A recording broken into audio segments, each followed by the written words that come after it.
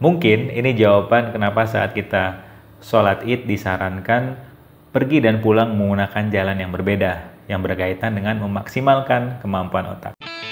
Become a vision holder, not just a problem solver with berkembangbersama.com. Every single day.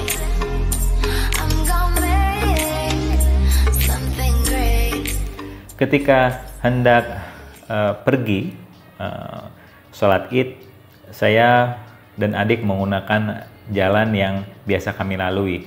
Saat pulang, adik mengingatkan untuk menggunakan jalan yang berbeda.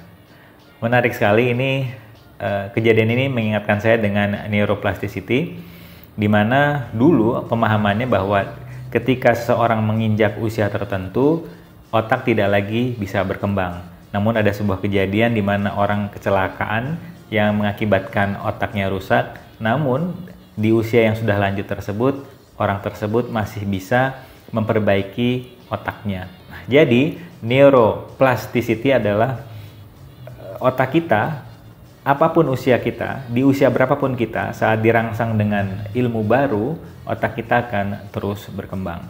Begitu juga dengan saat kita pergi dan pulang sholat id menggunakan jalan yang berbeda, membuat otak kita akan selalu belajar hal yang baru karena melewati toko, jalan, taman yang berbeda. Orang-orang di luar sana, bukan Anda ya, itu ingin menjadi pribadi yang baru, pribadi yang lebih berkembang dengan menggunakan pola pikir yang sama. Hasilnya bisa diprediksi, yaitu pribadi yang sama dengan masa lalu mereka yang tadinya ingin dirubah. Kenapa orang itu nyaman dengan pribadi yang lama? Karena kebanyakan dari kita takut akan ketidakpastian. Padahal di ketidakpastian ini banyak sekali kesempatan. Mungkin kita ingat saat sedang ada masalah dan kemudian kita mengikhlaskan, eh solusi datang dari arah yang tidak terduga, dari yang tidak pasti. Ini disebabkan karena kita membuka diri akan segala kesempatan, hal positif yang berdatangan. Apa pun solusinya, bentuknya seperti apa, selama itu positif, kita selalu terbuka. Nah, mindset inilah yang sebenarnya kita butuhkan saat ini, yang kita butuhkan sekarang.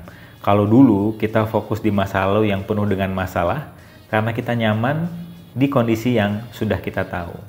Efeknya apa? Kita jalan di tempat, kita tidak berkembang. Sekarang, gunakan jalan yang berbeda. Fokus ke solusi yang mana kita tidak tahu dari mana asalnya, apa pun bentuknya, asalkan positif, saya ikhlas dan siap menerima. Wow, mindset yang asik ya.